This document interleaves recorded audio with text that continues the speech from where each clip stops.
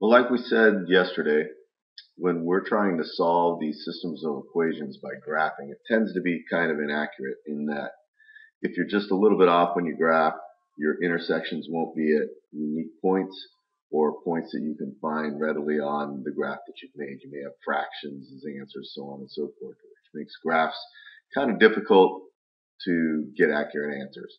So today what we're going to do is we're going to go through some algebraic processes of solving these systems. And, and today's discussion is going to be solving systems by substitution.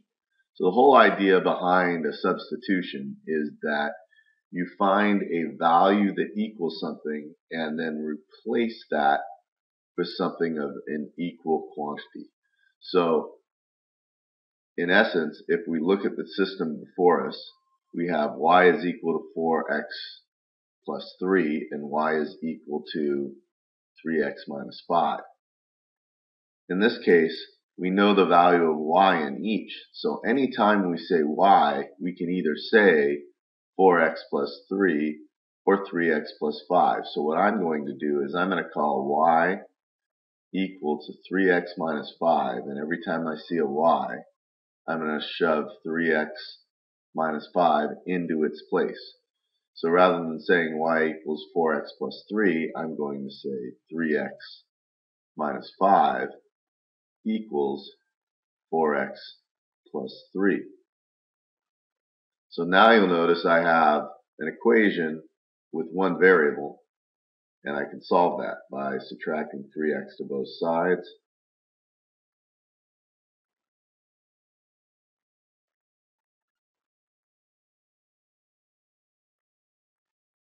And then subtracting 3 to both sides and giving me a value of negative x, or sorry, x equals negative 8. If I know x equals negative 8, I can simply substitute negative 8 into either one of these two equations and find the value of y. So 3 times negative 8 minus 5 is going to equal y.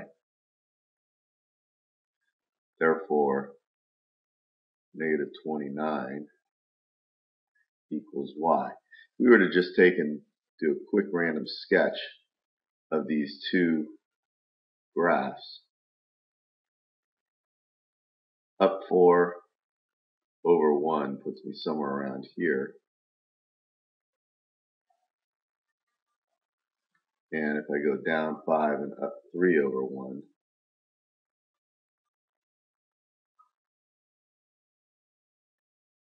puts me somewhere around here. And I were to draw these graphs eventually, somewhere way the heck down here, they intersect. And that point of intersection on the graph would be at negative 8 and negative 29. So the solution to these systems are ordered pairs, just like they were when we were graphing, but we've done this solving algebraically rather than graphically. So we have negative 8 and negative 29 as our solution of our system. So in this next problem, we see that we have a value of y in our first equation, which is negative 4x plus 12, in the second equation, we don't know what either variable is necessarily equal, although we could get y by itself and then state that. There's no need to because we already have a given value of y. I can take and use that value, substitute it into y in the bottom equation, and make the necessary adjustments in this problem so that we have one variable. So what I'll have is 2x plus and I'll put this in parentheses, although the parentheses really don't mean anything. I'm just there to show you what the y equals. So this negative 4x plus 12 we know is y. Combine like terms, negative 2x plus 12 equals 2. Subtract 12 from both sides. Get negative 10 equals negative 2x. Divide by negative 2 to both sides. get x is equal to a positive 5. Once I know that, I can plug back into one of the equations. So y is equal to negative 4 times 5 plus 12, which gives me a total of negative 8 for y. So 5 and negative 8 is my solution of the system. And if I wanted to, I could go ahead and check. I'll do that just on one of these, and we'll assume that this works on all of them. So 5 is, is the x value. I have 2 times 5, and negative 8 is the y value. And hopefully 10 plus negative 8 is 2, and that checks. Once again, I take negative 8 for the y value, set that equal to negative 4 times 5 plus 12, and negative 20 plus 12 is negative 8. So both those check. So in this next problem, you'll see, unlike the other problems, we don't have a straight substitution yet because you'll see that none of the variables are isolated. In this first equation on top, though, it would be easy enough to isolate x by adding 2y to both sides. And in doing so, I would get x equals 2y minus 3. And now that I know the value of x, I can substitute that into the other equation for x. So now I have 3 times x, which is now 2y minus 3, plus 5y is equal to 24. Distributing 6y minus 9 plus 5y is equal to 24. 11y minus 9 is equal to 24. Adding 9 to both sides, I get 11y is equal to 33. Dividing by 11, get y is equal to 3. Knowing that y is equal to 3, I'm going to plug back into this equation right here because I know that's what x is equivalent to. And say x is equal to 2 times 3 minus 3 or x equals 3. So my solution is the ordered pair 3, 3.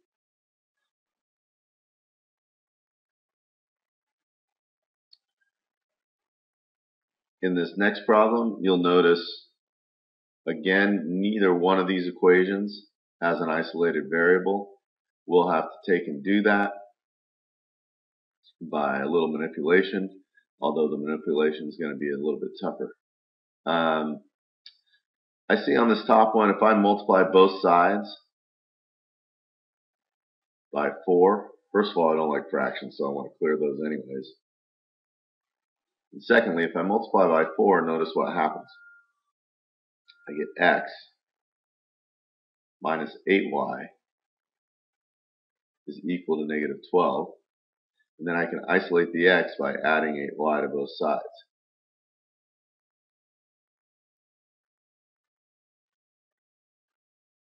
Oops. And that gives me x equals 8y minus 12.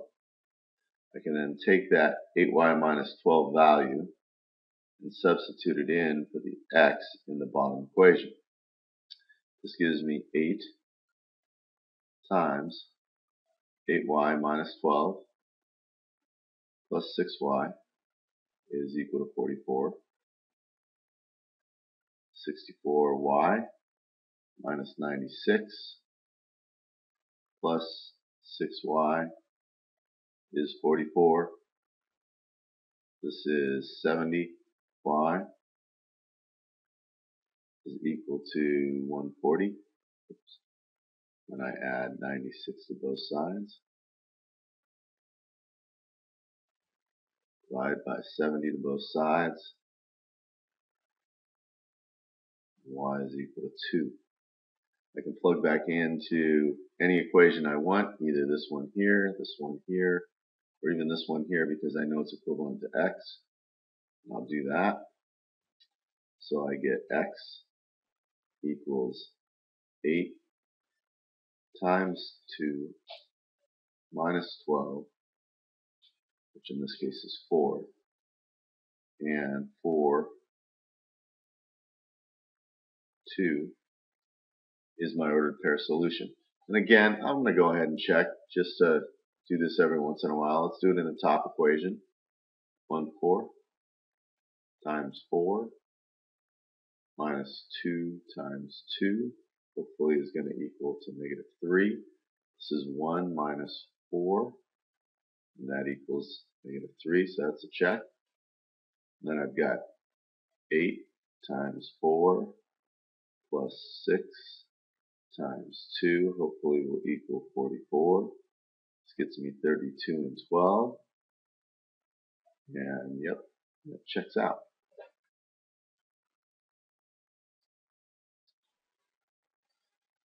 So here we go again. We'll notice, hey, we've got an x by itself. Let's just isolate that by subtracting 2y to both sides. I get x equals 6 minus 2y. Make that substitution in the other equation for x. I therefore have 6 minus 2y plus 2y is equal to 8. Notice the two y's go to 0 because negative 2y and positive 2y is 0. And all of a sudden, my variables have dropped out of the equation and I get a statement of 6 equals 8, which is not true.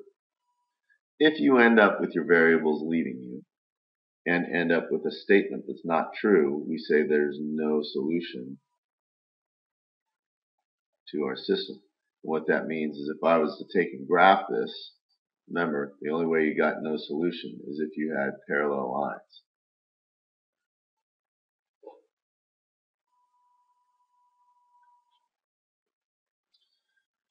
So here's another problem. Again, we'll have to isolate one of our variables. And neither one look very simple in this case. Um, let's just go ahead and do the top one, the kicks. I'll take and get, let's say, x by itself. So if I get x by itself, I have to subtract 3y to both sides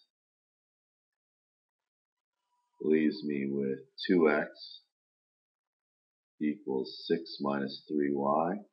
Going to have to divide by 2. And notice I'm going to do this to every term. So x equals 3 minus 3 halves y. So I'll take that value for x, plug it into the value of x in the second equation, get 6 times 3 minus 3 halves y plus 5y equals negative 2. Distribute 18 minus 9y plus 5y equals negative 2. That's 18 minus 4y is equal to negative 2. Subtract 18 to both sides negative 4y is equal to negative 20. Divide by negative 4 to both sides and get y is equal to 5.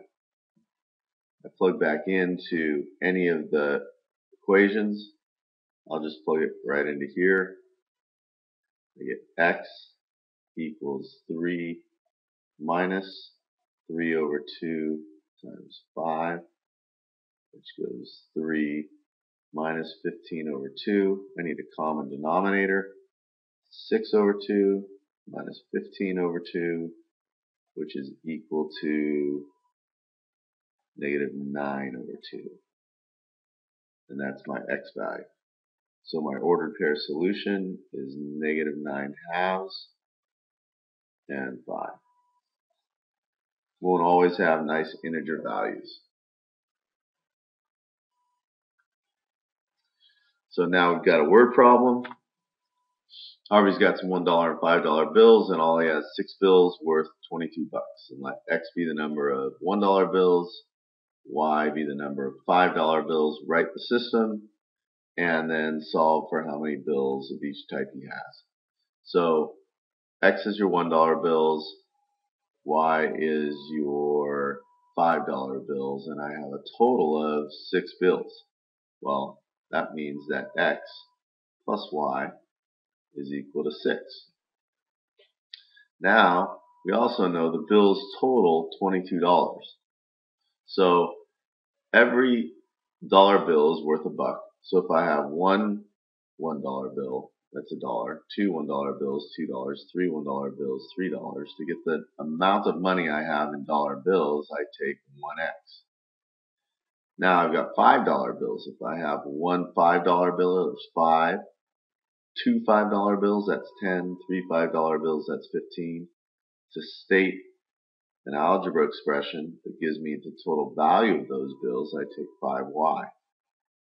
And then my total dollar value is going to be 22. So here's my system. Next, I'm going to want to isolate a variable so I can use a substitution. I'll subtract both sides in this case by y So now I have x equals 6 minus y. And I can use that value of x and make a substitution. So I have 6 minus y plus 5y is equal to 22. Therefore, that's 6 plus 4y equals 22. Subtract 6 to both sides. Oops. That gives me 4y equals 16. y is going to equal 4. y is equal 4. I have x equals 6 minus y, or 4, which means x equals 2. That means 2 and 4 is my ordered pair, which means I have two $1 bills and four $5 bills, which makes a total of $22, as you can see. And that's all we've got. Do your lesson summary and solve the problems below, and we'll discuss more tomorrow.